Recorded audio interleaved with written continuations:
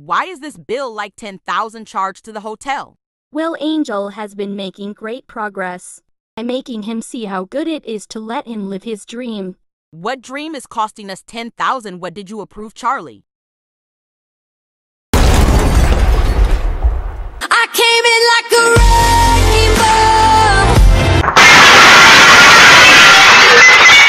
What in the goddamn is going on in here?